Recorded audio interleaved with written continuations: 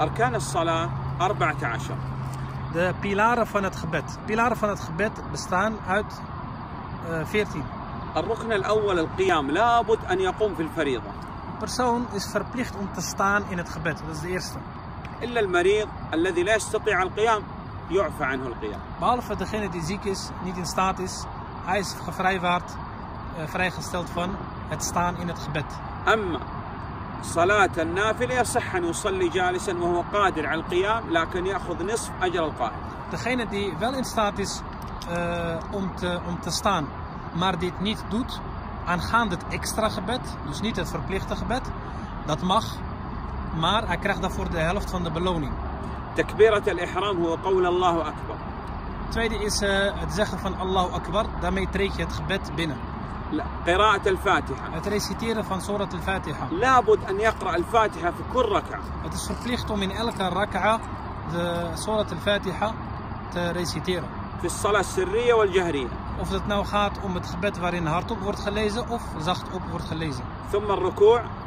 Vervolgens de record, dat is eh, de buiging vanuit, vanuit de staande positie. En eh, het terugkomen van deze positie, dus van de record terug naar de staande positie. De ter, ter aarde werping. En eh, het steunen op de zeven punten. Het terugkomen van de record.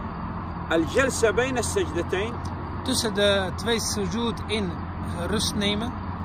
الترتيب بين الأركان لابد يرتب Eh, de volgorde in, de toepassen van, in het toepassen van de pilaren.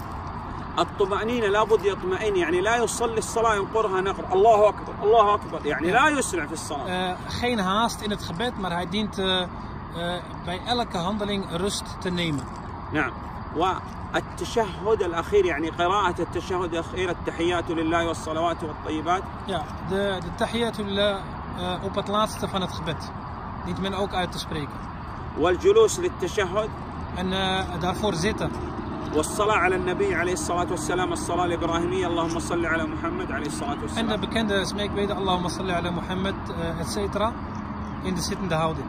والتسليمتان والله أعلم. ان ات uh, het uitstappen van, uh, uit السلام عليكم من salam ان لينكس اوت en links.